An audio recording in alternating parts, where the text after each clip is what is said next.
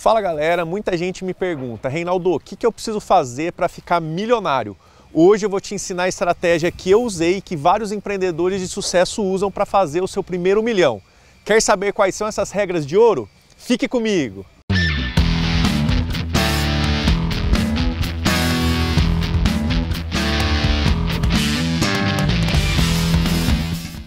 Fala galera, então hoje eu vou te ensinar a estratégia que eu usei para poder ficar multimilionário que vários empreendedores que eu conheço também utilizam, mas já chega dando aquele like para nós. Então eu vou passar aqui para vocês alguns passos, que no total são cinco passos, e o último, o quinto passo, eu deixei o mais importante, então fica comigo aqui até o final. Primeiro passo é, você precisa mudar o seu mindset. Pessoas de sucesso, multimilionários, eles pensam de maneira estratégica. Mas Reinaldo, como que eu mudo meu mindset? Então você precisa começar, primeira coisa, fazer o quê? Uma leitura estratégica. Quais livros você tem lido? Se eu te perguntar nos últimos 90 dias, quantos livros você leu? Além dos livros, treinamentos. Quantos treinamentos de desenvolvimento pessoal você tem participado? Primeira coisa, pessoal, para ter mais, você precisa ser mais. Primeiro vem o ser, depois vem o ter, ok? Então, primeira coisa é você precisa mudar a sua mente. Se nem você consegue se ver como um multimilionário, você não será um multimilionário. A pergunta que eu te faço é: quando você se olha no espelho, você consegue se enxergar como uma pessoa multimilionária? Se não, você precisa primeiro começar mudando a sua mente. Segundo passo é domine a arte das vendas. Você precisa dominar a arte das vendas porque tudo na vida são vendas. O vendedor que sabe vender, ele vai ter sucesso onde quer que ele vá. O médico que sabe vender está multimilionário. O médico que não sabe vender não está passando dificuldade, porque médico dá bastante plantão, está vivendo uma vida normal, ok? Mas você já conhece alguém na sua cidade, um arquiteto que está muito bem de vida e um arquiteto que está passando dificuldade? Com certeza, né? O arquiteto que está muito bem de vida, ele é marqueteiro, ele sabe se vender. Com isso, ele está rico. Então você precisa o quê? Dominar a arte das vendas. E o que, que você faz para dominar a arte das vendas? Nada substitui a prática, né? A prática vai te levar à perfeição, mas você precisa ter o quê? Algumas técnicas. Eu tenho um vídeo, aliás, vários vídeos meus aí, né? Falando sobre vendas. Olha aí no meu canal do YouTube, tem um vídeo que se chama Arte das Vendas. Eu tenho vários vídeos que eu gravei falando de vendas. Domine arte das vendas, porque se você dominar a arte das vendas, você já está em direção ao seu primeiro milhão. Então, se você está gostando, não esquece de dar aquele like, deixa um comentário aí o que você está achando do vídeo e se você está gostando do conteúdo, já compartilha aí com seus amigos, ok? Eu comecei vendendo produto de porta em porta, foi por isso que esse segundo passo foi sobre vendas. Então a habilidade de vendas é muito importante. Esse foi o meu primeiro negócio. Eu virei um distribuidor de uma multinacional americana, aonde eu saía de porta em porta vendendo produtos para emagrecer. E isso me possibilitou é, ganhar dinheiro para poder chegar no terceiro passo que eu vou passar aqui para vocês. Anotem, o terceiro passo então são investimentos e planejamento financeiro. Você vende muito, você ganha dinheiro com a venda e aí você investe o seu dinheiro. Como investir? Eu vou dar aqui algumas dicas rápidas do que você deve fazer, mas você não vai chegar nesse terceiro passo se você falhar no segundo passo, que é o que? Dominar a arte das vendas.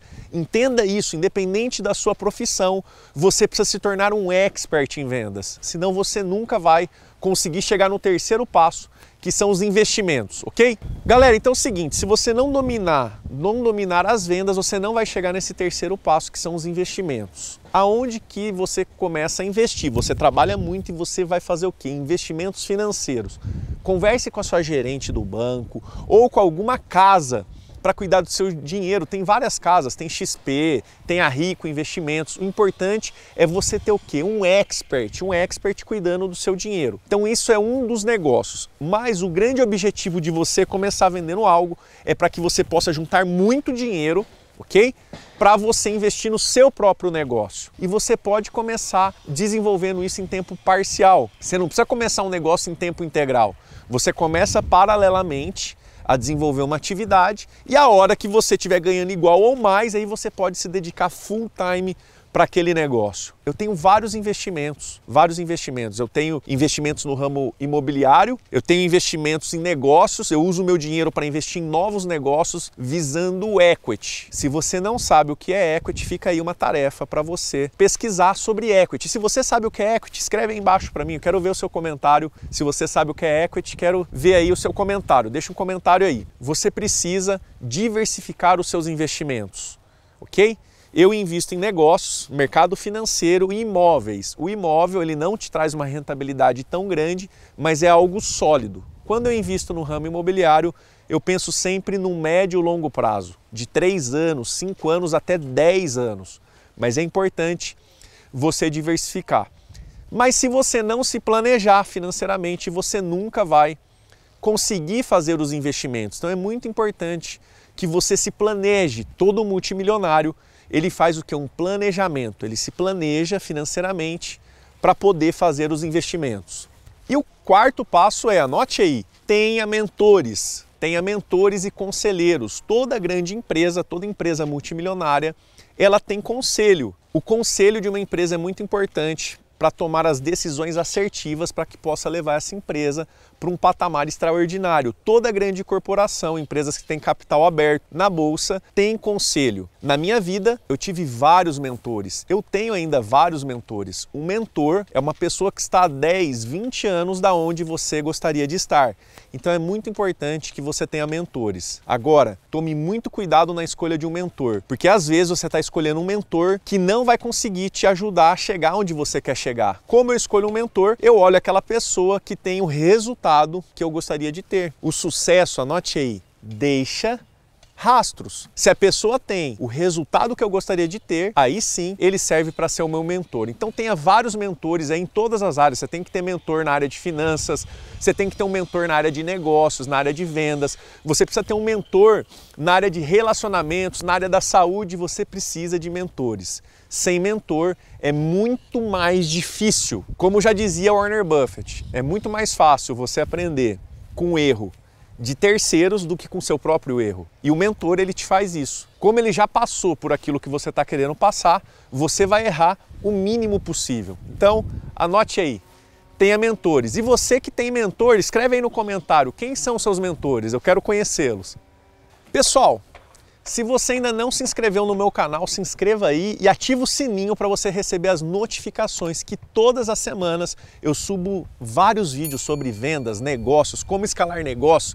Eu faço entrevistas com pessoas de muito sucesso, então não se esqueça, se você ainda não se inscreveu, se inscreva aí. Bom, pessoal, então chegamos aí no quinto passo e para mim ele é o mais importante. Tanto é que eu deixei ele por último não tem como você prosperar de maneira sobrenatural, abundantemente, se você não trabalhar sua espiritualidade. Então, o quinto passo é Deus. E eu não estou aqui para discutir religião, mas tudo que eu tenho, tudo que eu sou, aonde eu cheguei, se não fosse a conexão direto com o Pai, não seria possível. Porque com as minhas mãos eu sou limitado, mas quando você está conectado direto na fonte, Ele te dá sabedoria, Ele te dá fé você precisa de fé. Para conquistar o seu primeiro milhão, você tem que acreditar. E quem vai te dar fé? Às vezes você não acredita em nada. É difícil acreditar, às vezes, num ser humano, não é? Mas ele nunca falha com você. Então, através da fé, da conexão com Deus, você vai chegar lá. Então, trabalhe o seu lado espiritual. Eu, todo dia, vou falar o que eu faço. Eu acordo de manhã. Eu acordo todo dia, às 5 horas da manhã. Eu vou fazer minha oração. Eu vou falar com Deus. Eu vou meditar. O que é meditar? É focar a sua mente e dar a direção para os seus pensamentos. Porque nunca se esqueça, pensamento leva a um sentimento, que leva a uma ação, que é igual a resultado. Então, todo dia eu acordo e já falo com Deus. E não é só uma vez por dia, toda vez que eu tenho uma grande dificuldade nos meus negócios, eu me recolho, vou no banheiro, ali me conecto com o Pai, porque Ele é dono do ouro e da prata, dono da sabedoria infinita. Se desenvolva espiritualmente. Eu não conheço ninguém que tem muito sucesso, um sucesso extraordinário, que não tem o seu lado espiritual muito bem desenvolvido. E, e digo uma coisa, não tem nada a ver com religião. Eu respeito todas as religiões. Do que eu estou falando é de conexão direta com o Criador. Não se esqueça disso. Então é isso, pessoal. Espero que vocês tenham gostado aí do conteúdo. E se você ainda não deixou aquele like, deixa aquele like e te espero na próxima. Um abraço!